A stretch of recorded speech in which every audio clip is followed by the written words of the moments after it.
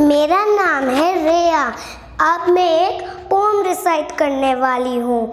मेरी बीली काली, पीली पानी से वह हो गई गीली। गीली होकर लगी छींकने। मैं फिर बोली, कुछ तो सीख, बिन रुमाल के कभी ना छींक। धन्यवाद।